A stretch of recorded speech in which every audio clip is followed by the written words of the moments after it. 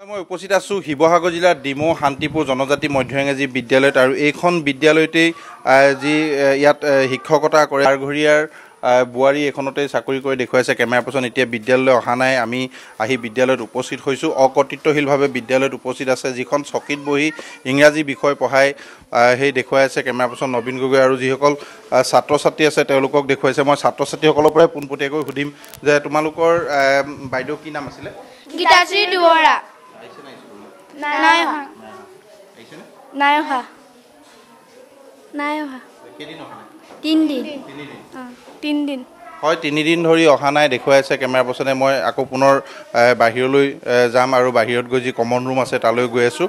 বাকী শিক্ষকসকলো আছে শিক্ষকসকলকো দেখুৱাইছে। ইতিমধ্যে বিদ্যালয় গ্ৰীষ্মকালীন যি পা ইয়াত পাঠদানৰ কাৰ্যসূচী চলিছে আৰু দেখুৱাই আছে সমগ্ৰ শিক্ষকসকল। মই যিখন এটেণ্ডেঞ্চ আছে এটেণ্ডেঞ্চখন আমি দেখুৱাব বিচাৰিছোঁ নিউজ লাইভৰ দৰ্শকসকলৰ উদ্দেশ্যে এয়া বাকী শিক্ষকসকলে সহযোগ কৰিছে। মই যি এ, যি স্বাক্ষৰ এ, কৰাৰ মই দেখুৱাবলৈ বিচাৰিছোঁ আৰু ইতিমধ্যে ইয়াত দেখুৱাই আছে গীতাশ্ৰী অনুপস্থিত হৈ আছে প্ৰায় তিনিদিন ধৰি অনুপস্থিত আৰু আৰক্ষীয়ে কৈছে যে গীতাশ্ৰীৰ লগতে তেওঁ যি স্বামী দেৱাশিষ খাৰঘৰীয়া ইতিমধ্যে পলাতক হৈ আছে। মই টিচাৰ যি এটেণ্ডেঞ্চ মই টিচাৰ এটেণ্ডেঞ্চখন পুনৰ দেখুৱাবলৈ কৈছোঁ আৰু তিনিদিন ধৰি অনুপস্থিত আছে আৰু বিদ্যালয়ৰ যিসকল শিক্ষক মই তেওঁলোকৰ ওচৰলৈ পোনপটীয়াকৈ যাম শিক্ষকসকলক দেখুৱাইছে যে আপোনালোক যিটো এটা অভিযোগ উঠিছে আপোনালোকৰ লগতে শিক্ষয়িত্ৰী গীতাশ্ৰীৰ ওপৰত যিটো অভিযোগ উঠিছে হয়। বা তেওঁৰ স্বামীৰ ওপৰত কি ক'ব এতিয়া? আপোনালোকে শিক্ষক হিচাপে কি ক'ব?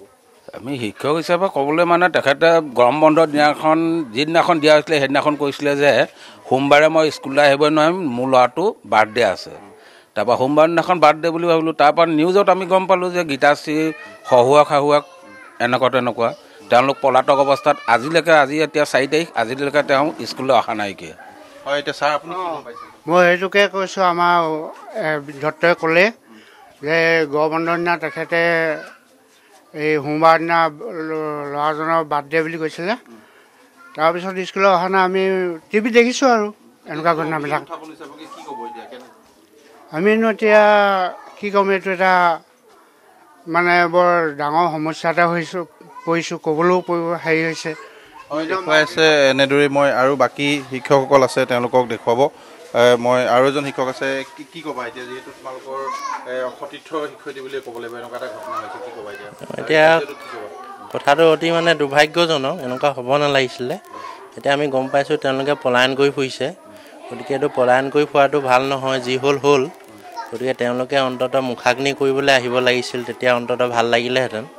এতিয়া এইটো নকৰি মই তেওঁলোকক আহ্বান জনাইছোঁ তেওঁলোকে মানে ধৰা দিয়াটো ভাল হ'ব। আত্মসমৰ্পণ। কৰিলে ভাল হ'ব এনেই পলায়ন ফুৰিলে কৰি ফুৰিলে বেয়া কথাটো। দুখটো বেছি হ'লে হৈ যায়গৈ।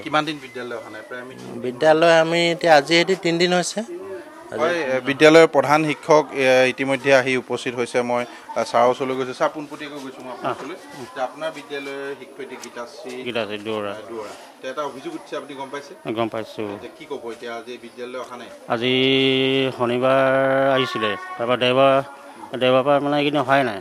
সেইকাৰণে এতিয়া আমি এটেণ্ডেঞ্চত আমি এবচেণ্ট দিছোঁ।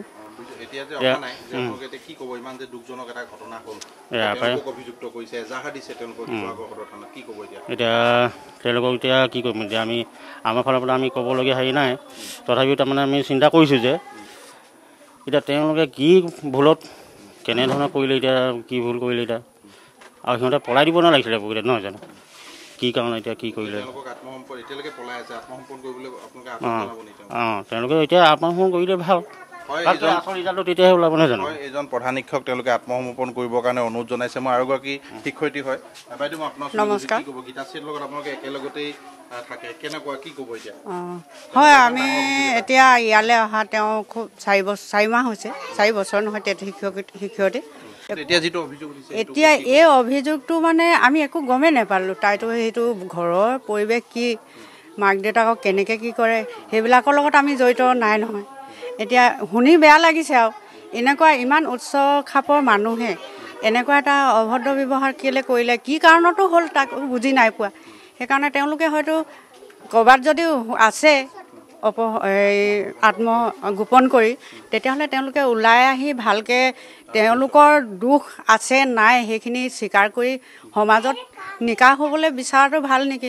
সমাজত নিকা হ'বৰ কাৰণে তেওঁলোকে আহ্বান জনাইছে আৰু এনেদৰে এইসকল শিক্ষয়িত্ৰী দেখুৱাই আছে কেমেৰা পাৰ্চন নবীন গগৈ আৰু এজন প্ৰধান শিক্ষক আৰু এনেদৰেই হৈছে এই যি শান্তিপুৰখন বিদ্যালয়তে কৰে সেই এগৰাকী শিক্ষয়িত্ৰী। দেৱাশিষ খাৰঘৰীয়াৰ পত্নী পুনৰ এবাৰ বিদ্যালয়খনৰ পৰিৱেশটো দেখুৱাবলৈ কৈছোঁ আৰু বিদ্যালয়ৰ শিক্ষয়িত্ৰীসকল আছে আৰু যিখন চকীত তেওঁ পঢ়ায় সেইখন ইংৰাজী বিষয় পঢ়ায় ইয়াত এনেদৰে উকা হৈ আছে। তিনিদিন ধৰি বিদ্যালয়ত অনুপস্থিত কিন্তু বিদ্যালয়ৰ বিভাগীয় কৰ্তৃপক্ষই কিন্তু এই ক্ষেত্ৰত কোনো ধৰণৰ ব্যৱস্থা গ্ৰহণ কৰা নাই। আৰু এনেদৰে এই শিৱসাগৰ জিলাৰ যি শান্তিপুৰ জনজাতি মধ্য ইংৰাজী বিদ্যালয়ত শিক্ষকতা কৰে এতিয়া অভিযুক্ত হৈ আছে আৰু ইতিমধ্যে পলাতক হৈ আছে কিন্তু আজি তিনিদিন ধৰি এই বিদ্যালয়খনত উপস্থিত নাই।